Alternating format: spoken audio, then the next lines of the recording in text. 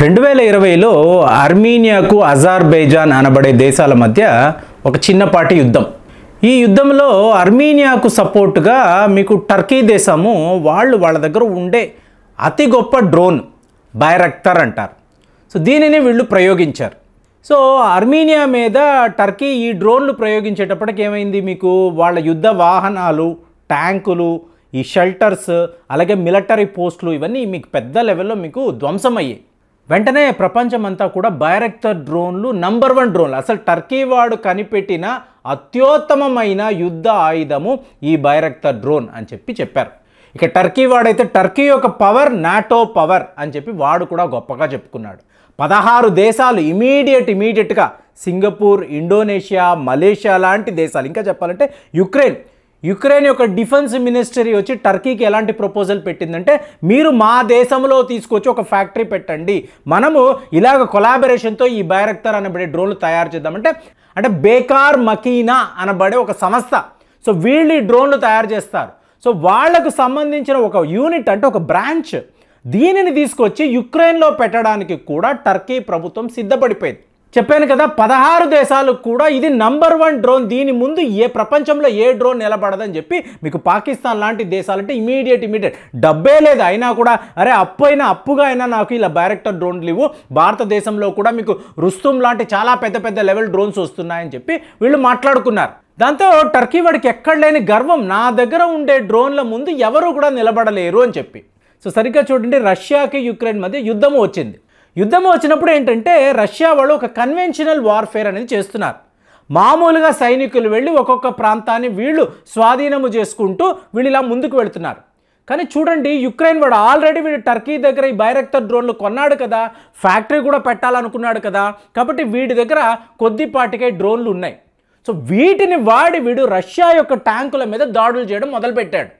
మొదలుపెట్టేటప్పటికి ఎన్నో ట్యాంకులు మీకు అక్కడ కుప్పకూలిపోయాయి మీకు ధ్వంసం అయిపోయాయి రష్యా వాళ్ళకి అర్థం కాలేదు. అసలు ఇలాంటి డ్రోన్లు మీకు యుక్రెయిన్లో ఎలా వచ్చాయని చెప్పి వీళ్ళు కూపీ లాగితే టర్కీ వాడు డ్రోన్లు ఇచ్చాడు. అంటే ఏంటి అర్థం? టర్కీ వాడు ఎప్పుడైతే డ్రోన్లు ఇచ్చాడో నాటో దేశము డైరెక్ట్గా యుక్రెయిన్కి సపోర్ట్గా నిలబడింది. అంటే ఏంటి? ఇది ఒక ఫుల్ ఫ్లెడ్జ్డ్ వార్ అయిపోతుంది. రష్యా వాళ్ళు డైరెక్ట్గా నాటో దేశాల మీద దాడులు చేయాల్సిన పరిస్థితి ఏర్పడిపోతుంది. సో ఇది గ్రహించిన టర్కీ వెంటనే ప్లేట్ ఫిరాయించింది. ఏమనిందంటే బేకార్ మకీనా అనబడే ఒక సంస్థకు సంబంధించిన బైరెక్టర్ డ్రోన్లు ఇవి. సో ఇది టర్కీ ప్రభుత్వానికి వాళ్ళకి ఏ సంబంధము లేదు.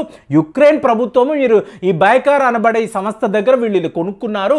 మమ్మల్ని ఇందులోకి లాక్కండి. మాకు దీనికి ఏం సంబంధం లేదని చెప్పి వీళ్ళు మామూలుగా వీళ్ళు చేతులు కడిగేసుకున్నారు. మరి ఇలాంటి దేశాలను అంటే ఇలాంటి టర్కీ లాంటి దేశాలను ఇవాళ వరకు రష్యా ఎందుకు వదిలిపెట్టింది అనేది చాలా చాలా ఒక పెద్ద విషయం. అసలు వాళ్ళు అలా చెయ్యనే చేయరు ఎవరైతే వీళ్ళ మీద దాడులు చేస్తున్నారో వాళ్ళకి సపోర్ట్గా నిలబడ్డారో వాళ్ళని రష్యా వాళ్ళు ఎప్పుడు కూడా వదిలిపెట్టారో. వాళ్ళతో యుద్ధము చేయడం పదే పదే చెప్తారు రష్యాతో యుద్ధము చేయడము అంత ఈజీ కాదు. సో ఈ సందర్భంలో ఇప్పుడు ఏమైపోయింది? యుక్రెయిన్ వాడు బైరెక్టర్ డ్రోన్లు రష్యా ట్యాంకుల మీద వాడుతున్నాడు. అంటే రష్యా వాళ్ళు ఒక్కొక్కటిగా వాళ్ళ మహాస్త్రాలు బయట పెడుతున్నారు. ఇవాళ టర్కీ ప్రభుత్వానికి అంటే ఒక చెంప దెబ్బ అనాలి. అంటే ఈ ఈ బేకార్ సంస్థ అని చెప్తున్నాను చూసారా? నిజంగానే ఇవాళ ఇది ఒక బేకారు సంస్థగా తయారైంది. ఇవాళ ఈ బైరెక్టర్ డ్రోన్లు అనేవి దేనికి పనికిరావు? ఈ ఒట్టి వేస్ట్ అని చెప్పేసి ప్రపంచమంతా కూడా మాట్లాడుకుంటుంది. ఏంటండి రష్యా వాళ్ళు అలాంటి పని ఏం చేశారు? మీరు ఆలోచించారు అనుకోండి. ఇప్పుడు యుక్రెయిన్ యుద్ధముతో రష్యా తన సరికొత్త ఆయుధము లేజర్ వెపన్స్ను వీళ్ళు బయట పెట్టారు అంటే లేజర్ వెపన్స్ అన్నప్పుడు దీన్ని పేరిస్ వెట్ అంటారు. ఈ పేరిజ్ వెట్ లేజర్ వెపన్స్ని ఎప్పుడైతే రష్యా వాళ్ళు వాడడం మొదలుపెట్టారో ఈ బ్యారెక్టర్ డ్రోన్లు అంతా కూడా మీకు పిచ్చుకొల్లాగా రాలి పడిపోతున్నాయి. ఇది ఎంత పవర్ఫుల్ అంటే పదిహేను వందల కిలోమీటర్లు భూ భూతలము నుంచి పదిహేను వందల కిలోమీటర్లు ఆకాశంలో ఉండే శాటిలైట్స్ను కూడా ఇది నేరుగా వెళ్ళి ధ్వంసం చేయగలదు. ఏది? ఒక లేజర్ కాంతి కాంతి పుంజ ఫిఫ్టీన్ హండ్రెడ్ కిలోమీటర్స్ ట్రావెల్ చేయగలదు అంటే మీరు నమ్ముతారా? అంటే రష్యా అంటే మామూలు వాడా అండి. వాడి దగ్గర ఎలాంటి ఎలాంటి ఆయుధాలు ఉంటాయి ఏ లెవెల్ ఉంటుంది యుద్ధానికి తగ్గట్టుగా ఒక్కొక్క అస్త్రాన్ని బయటకు తీస్తూ ఉంటాడే తప్ప ఒక యుక్రెయిన్ మీద చెప్తున్నా కదా పిచ్చుకపై బ్రహ్మాస్త్రము వాడాల్సిన అవసరము రష్యాకి ఎప్పుడూ కూడా లేదు. కానీ ఈ టర్కీ వాళ్ళ ఈ డ్రోన్లు బైరక్తో డ్రోన్ల వల్ల వాళ్ళ ట్యాంకులు ఎన్నో మీకు నాశనం అయ్యాయి అయినా కూడా టర్కీని వాళ్ళు విడిచిపెట్టారు అంటే చెప్తున్నా కదా ఇది చాలా పెద్ద విషయము. కానీ ఇవాళ ఈ బైరక్తో డ్రోన్లు ఎక్కడా యుక్రెయిన్ మీద మీకు కనిపించడం యుక్రెయిన్ గగనతలం మీద మీకు కనిపించడం లేదు. ఎందుకు అంటే రష్యా వాళ్ళు ఎక్కడికక్కడ ఈ లేజర్ వెపన్స్ పెట్టుకొని మీకు ఈ డ్రోన్లు అనండి అలాగే మీకు ఆ యుక్రెయిన్లో ఉన్న యుద్ధ విమానాలు ఒకవేళ నాటో వాళ్ళు ఏమైనా యుద్ధ విమానాలు ఇచ్చినా కూడా మీకు ఇమీడియట్గా లేజర్ వెపన్స్ డైరెక్ట్గా వాళ్ళ మీద వాడుతున్నారు.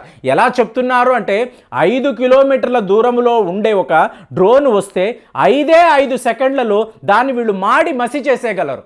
ఏది? ఐదు సెకండ్లలో. అలాంటి ఆయుధాలు ఇవాళ రష్యా తయారు చేస్తుంది. అంటే రష్యా వాళ్ళ deputy prime minister Yuri Borisov అంటారు. ఇతను మొన్నటికి మొన్న ఈ రష్యాకు వాళ్ళకు సంబంధించిన అణు అస్త్రాల మీద రీసెర్చ్ జరిగే సారో అంటారు. ఇక్కడికి వెళ్ళి ఇంకా ఇంకా కూడా అంటే చిన్న స్థాయిలో అణువస్త్రాలు లేజర్ వెపన్స్ని ఎలా తయారు చేయాలి? ఆల్రెడీ మన దగ్గర ఎలాంటి ఆయుధాలు ఉన్నాయి? వీటిని అంతా కూడా క్షుణ్ణంగా పరిశీలించుకొని అతను వచ్చి ఒక ప్రెస్ మీట్ ఇస్తున్నాడు. అంటే సారో అన్నప్పుడు ఇది ఎక్కడ ఉందో నాకు తెలియడం లేదు. చాలామంది రష్యా నుంచి కూడా మన వీడియోస్ చూస్తూ ఉంటారని చెప్పి అక్కడ మీకు గూగుల్ నుంచి నాకు ఒక మెసేజ్ వచ్చింది. సో నాలుగు వేల మంది దాకా రష్యన్స్ అక్కడ అంటే రష్యన్స్ అంటే రష్యాలో ఉండే తెలుగు వాళ్ళు ఈ వీడియో అప్డేట్స్ని ఫాలో అవుతూ ఉంటారు. కాబట్టి మీరు అసలు ఈ సారో అంటే ఏంటి? ఇక్కడ రష్యా వాళ్ళ న్యూక్లియర్ రీసెర్చ్ అనేది ఎలా ఉంటుంది? ఏ లెవెల్లో జరుగుతూ ఉంటుంది? వాళ్ళు ఎంత అడ్వాన్స్డ్ సిస్టమ్స్ వాడుతూ ఉంటారు?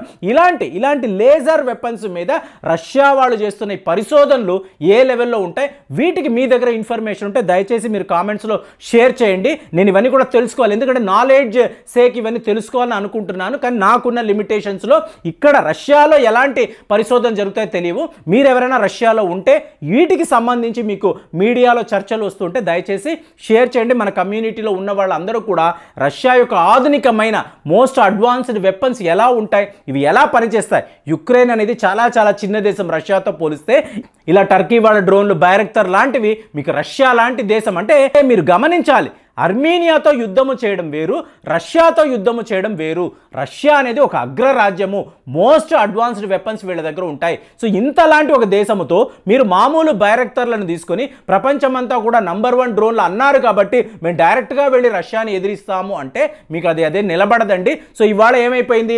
బైరెక్టర్ డ్రోన్లు నంబర్ వన్ కాదు వర్స్ట్. ఇది అడ్వాన్స్ డెవలప్ యుద్ధము వచ్చేటప్పుడు పని చేయవు అని చెప్పి ఇవాళ ఈ పదహారు దేశాలు ఎవరైతే వీళ్ళతో కలిసి మెలిసి ఈ డ్రోన్లు తయారు చేయాలని అనుకున్నారో వాళ్ళందరూ ఇది ఒట్టి వేస్ట్ అని చెప్పి చెప్తున్నారు. ఇలాగ టర్కీ తన పరువు పోగొట్టుకోవడం కాదు వీళ్ళ వ్యాపారాన్ని కూడా వాళ్ళు పూర్తిగా పూర్తిగా యుద్ధంలో కలగజేసుకోవడం వల్ల టర్కీ వాళ్ళు పూర్తిగా నష్టపోయారు. మరి దీన్ని మీరు ఎలా చూస్తున్నారు?